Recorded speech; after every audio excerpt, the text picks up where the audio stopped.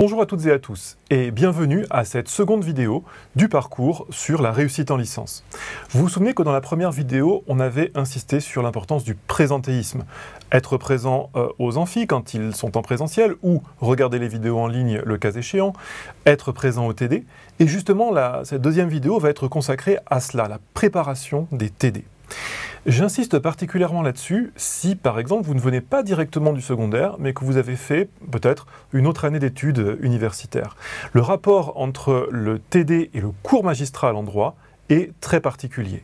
Et il est extrêmement important que chaque séance de TD soit préparée en vous appuyant sur le fascicule du cours. L'articulation exacte entre le cours magistral et le TD peut varier en fonction de vos enseignants. Euh, certains vont voir le TD comme une manière de mettre en œuvre les enseignements qui vont être euh, dispensés pendant le cours magistral. D'autres auront une vision plus interactive du TD qui vous apportera également des contenus qui vous feront progresser. Dans tous les cas, vous ne pouvez pas réussir votre année si vous ne préparez pas chaque TD.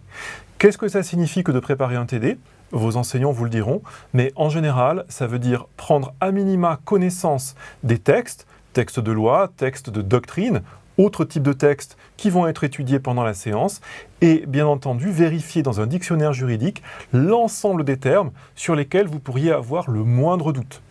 On en reparlera dans une autre vidéo, mais pensez à noter ces termes dans un carnet, dans un lexique qui vous sera personnel et qui vous sera extrêmement utile pendant vos révisions. Et puis il matérialisera aussi bah, votre acquisition progressive de la langue du droit.